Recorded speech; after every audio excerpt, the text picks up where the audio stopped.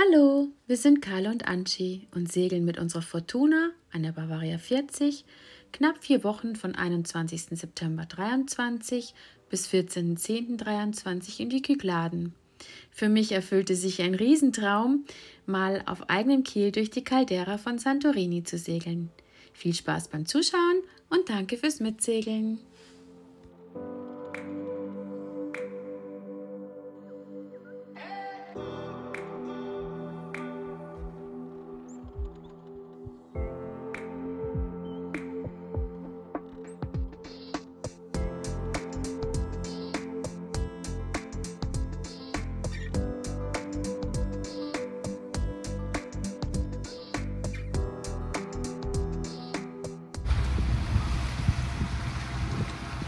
Unsere Überfahrt von Santorin nach Ios. Kein Wind, aber schaukelige Wellen. Wir sind auf Ios. Nachdem wir jetzt innerhalb von wenigen Tagen Milos umrundet, Santorin bereist haben, machen wir heute auf Ios in der südlichen wunderschönen Bucht Badestopp fährt so ein Idiot mit Jetski durch die Gegend.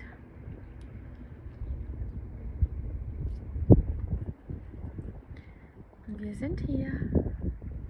Ganz, ganz schönes türkises Wasser.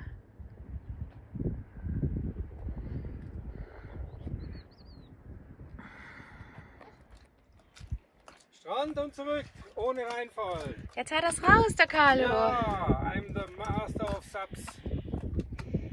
Ja.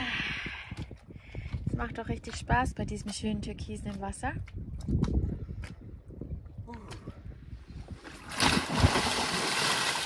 Absichtlich reingefallen. Das schöne türkisene Wasser. Oh, 25 Grad hat.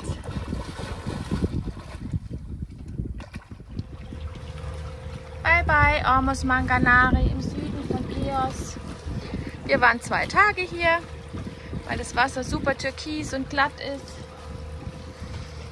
Ja, jetzt fahren wir hoch nach Ios. Also das ist jetzt praktisch der Süden von Ios. Da leider kein Wind war, motorten wir zwei Stunden nach Ios in den Hafen. Es sind neun Seemeilen. Wir legten im Süden des Hafens an mit Buganker. Wir waren da ja schon vor zwei Jahren, wo es uns super gefallen hat. Wir sind nachmittags noch am Strand baden gegangen und haben Cocktail getrunken und abends Gyros Pita gegessen. Wir legen ab aus Ios. Schön war es wieder. Wir sind gut an dem Südkai gelegen, aber es war auch kein Wind. An dem Ostkai lagen nur zwei. Hier lagen zwei Moody's, 54 DS eine aus Delaware, eine Steueroase und ein Katamaran. Also drei lagen hier, zwei lagen da und wir lagen hier zu 1, 2, 3, 4, 5. Wir segeln von Ios nach Antiparos. Groß im zweiten Reff, Genua im ersten Reff, 18 Knoten Wind, 35 Knoten, äh, 35 Grad zum Wind aber das ist dann für die Welle auch ein guter Kurs.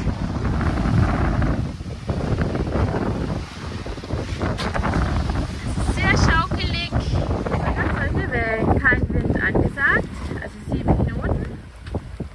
Was habe ich jetzt? 17 Knoten Wind.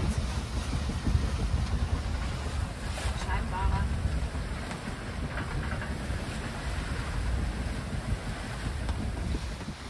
So, nach einer Woche sind wir in Kykladen angekommen am 29. September.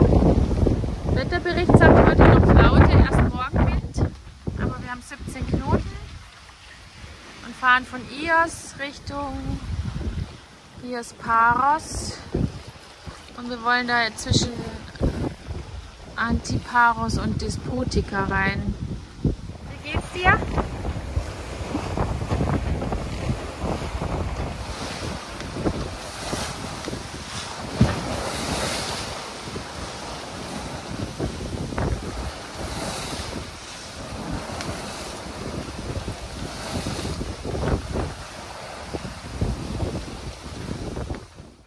Nach fünf Stunden Wind und Welle warfen wir mit acht Wänden um 16 Uhr bei 3,50 Meter in türkisem Wasser unseren Anker in Antiparos Despotica.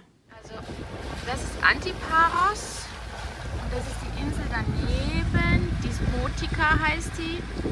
Und das ist hier wohl die Despotica Bay. Die ist riesengroß, steht als geschützt in Navigny drinnen. Ja, vor Wellen, vor Wind bedingt. Geht gerade die Sonne auf. Wir haben bei 3,90 Meter geankert. Wir beschlossen spontan, die bevorstehenden vier Meltimi-Tage in den kleinen Kykladen zu verbringen. Und so segelten wir bei 18 Knoten Wind komplett im Halbwindkurs Richtung Kufunisi. Nach der Durchfahrt donnerten wir sogar noch im Amwindkurs in die Traumbucht Pori Beach Bay. Leider hat diese keinen Windschutz und bei 20 Knoten wollten wir dort nicht stehen bleiben. So parkten wir nochmal um am Abend in die Dentist Bay, die aber nicht wirklich besser war. Uhu, der Carlo! Das absichtlich ist er in das türkisene Wasser gefallen. Jetzt muss ich schicken, damit das nicht abhaut. Wir legen wieder ab. Hierin hat es auch noch 17 Knoten geil das Wasser hier ist, so türkis und so schön, aber das ist mir zu stressig. Ganz schöne Wellen. Wir haben jetzt da drinnen in dieser Bucht gelegen und abgelegt, weil es da drinnen zwar nicht die Wellen hatte, aber den Wind. Jetzt hoffen wir, dass es da, wo wir ankommen, schöner ist.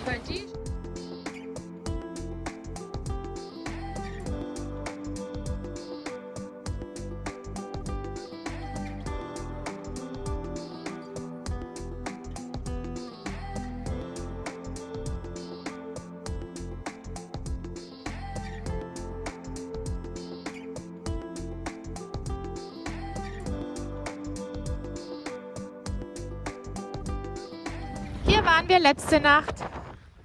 25 Knoten Wind hatten wir jetzt beim Ablegen. Jetzt hoffen wir, was Windstilleres zu finden. Ja, es ist brutal hier. Wir fuhren sieben Knoten nur mit der Genua bei 28 bis 32 Knoten Wind. Als wir die Genua einholten, trieben wir sogar noch mit zwei Knoten Wind. Wie geht's dir, Carlo? Du hast gut geschlafen? Ich habe nicht so gut geschlafen, weil auch wenn ich dem Anker total vertraue, ist es doch laut, weil er ständig das an unserer Ankersicherung zerrte, wenn mal die Böe reinkam. Also das war echt. Aber jetzt haben wir eine geile Fahrt.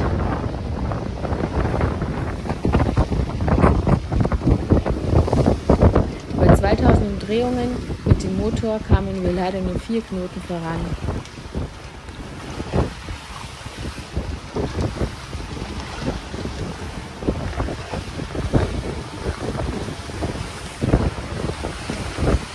Wir waren heilfroh, den letzten äußeren Platz in Mersini auf Schonussa bekommen zu haben und legten auch richtig gut bei 25 Knoten Seitenwind an.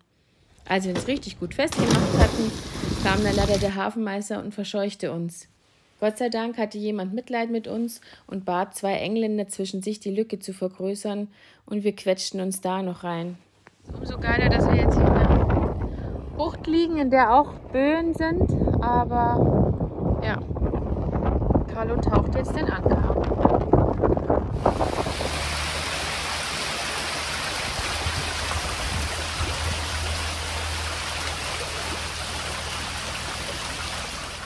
Wir genossen die drei Tage in Chinusa sehr und waren mal wieder froh, mit eigenem Schiff keinen Zeitdruck zu haben. Ich backte Brot, Zwetschgendatschi, wir feierten Sechsjähriges in mit gegrilltem Lammarm. Es gab auch einen kleinen tollen Strand.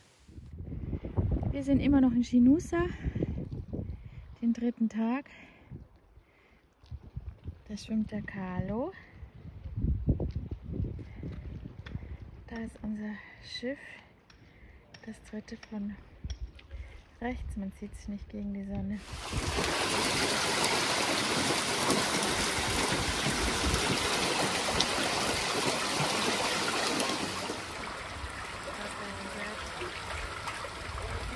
Geil.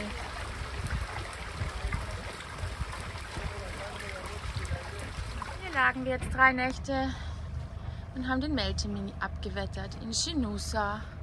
Es ist sieben, kurz nach sieben und es geht die Sonne auf. Wir legen ab, Gott sei Dank.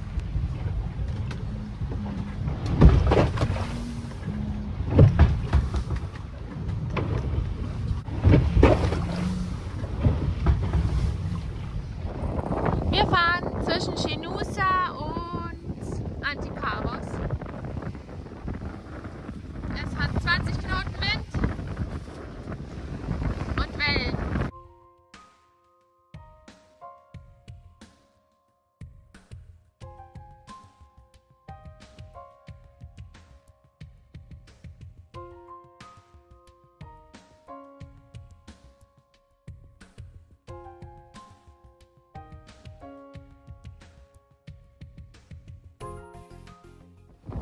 Böe.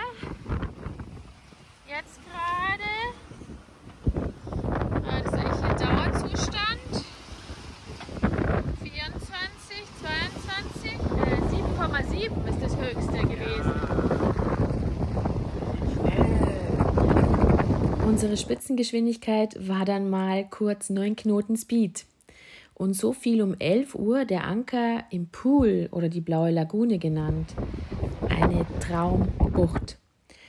Leider war es zu windig, um dort zu übernachten, und so fuhren wir später nach Poros Aliki weiter und ankerten da und verbrachten da den Abend an Bord.